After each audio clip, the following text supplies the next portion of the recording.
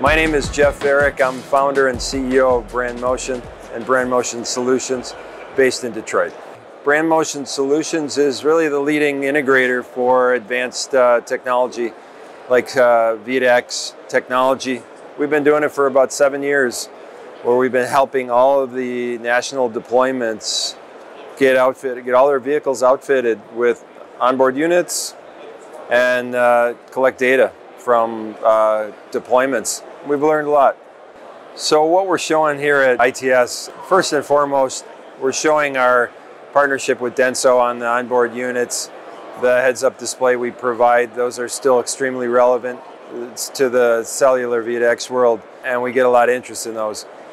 We're also showing, you know, behind me a really cool buck that my team built uh, that highlights how to do digital alerts well in the vehicle. There's a lot of focus on digital alerts for emergency vehicle, pedestrian, traffic signal countdown, but the key question, we're automotive guys and we take this experience of the driver seriously. How are they going to get that information? How are they going to get it safe? How are they going to get it where it's not a projectile, it's not blocking their view?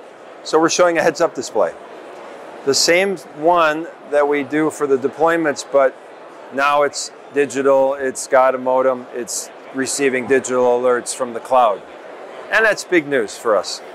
You know, we really serve a lot of big tier ones. A partner of ours is Denso. They have a fantastic onboard unit that we supply to DOTs and to deployments.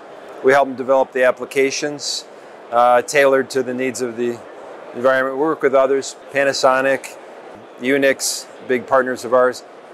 The thing I think we're most proud of is all the leading DOTs with in connected vehicle, Florida, Ohio, Michigan, Georgia, we've been serving them for many years. So in a deployment, there are different deployments with different goals. But generally the deployments that are trying to learn from how the vehicle responds to the connected vehicle equipment at the infrastructure are outfitting vehicles. They may take a certain set of vehicles like fire trucks, police cars, and focus on those and see how they react and collect the data and analyze it.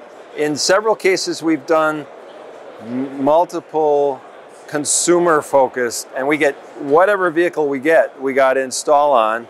And luckily we're experts in, in vehicles, we're based in Detroit. We don't get frazzled too much when an obscure vehicle comes our way. That's why we get hired. What's great about the FCC waivers that happened this week is it breaks through a logjam we've all had for the last year, right? And now we all can kind of rise to that challenge of getting back in the deployment game, getting back in the game of advancing uh, this technology for safety. I mean, we're just, it's taken too long. We all know that. Now's the time.